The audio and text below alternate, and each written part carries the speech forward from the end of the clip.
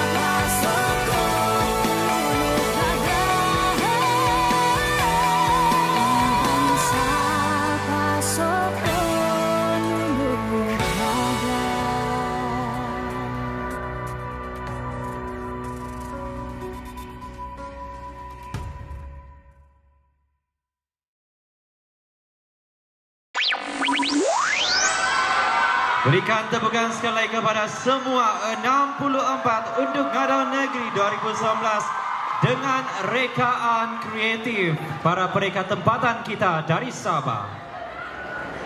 Wow. Wow, wow, wow, wow. These girls really outdid themselves tonight. Now, to make